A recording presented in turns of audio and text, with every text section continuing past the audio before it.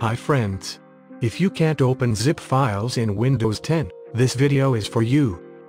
Users got a zip file from as an email attachment. They downloaded it on their Windows 10 system and tried to extract its contents. When they tried to open it by using WinRAR, then an error message pops up and says that the compressed zipped folder is invalid and they simply can't extract the zip file in Windows 10.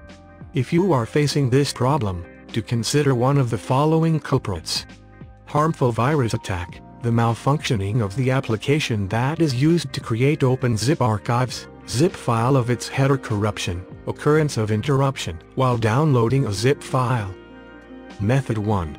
Use WinZip. WinZip is the best compressing tool when it comes to extracting or opening zip files on Windows 10. Rest assured that no similar problems ever happen while using it. What's more, do take into consideration the fact that it has several helpful additions besides the archiver itself. For example, you can easily add the contents of a zip file to match the source.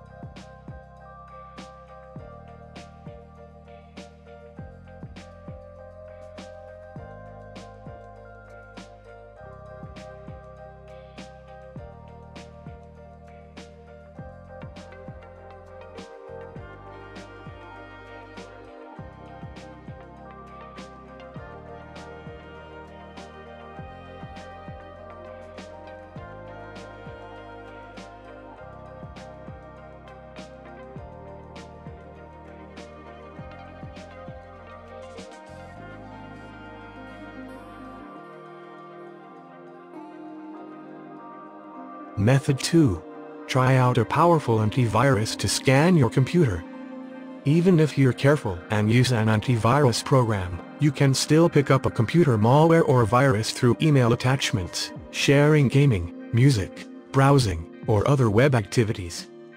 Some computer viruses are programmed to damage files or steal data, hence we would recommend you perform a full scan by using a solid antivirus.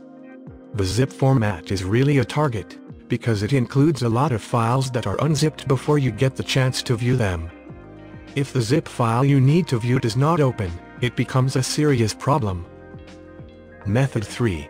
Make sure your network connection is stable. If you usually get internet problems resulting in disconnection and reconnection to the network, take a little time to analyze things. An occurrence of interruption while downloading a zip file is a main cause of not being able to extract or open on Windows 10. If your internet connection is unstable, here are a few troubleshooting tips. 1. Firstly, confirm that you are having speed problems. A good method to test your connection speed is by visiting speedtest.net. 2. Reset your modem and router. Unplug your router, then the modem. Wait about 1-2 minutes, plug in the modem, and then the router. 3. Connect your computer directly to the modem, if your internet speeds are drastically different when plugged directly into the modem, then you know the router is the issue. If you still have speed problem, then it's likely the ISP or the modem. 4. Check your DNS performance, and use a different one, there is a free DNS tester called DNS Benchmark from grc.com. This will check to see what DNS will be faster for you. Google DNS and OpenDNS are both good, free options to use. 5. Lastly, call your ISP to make sure the problem is not on their end.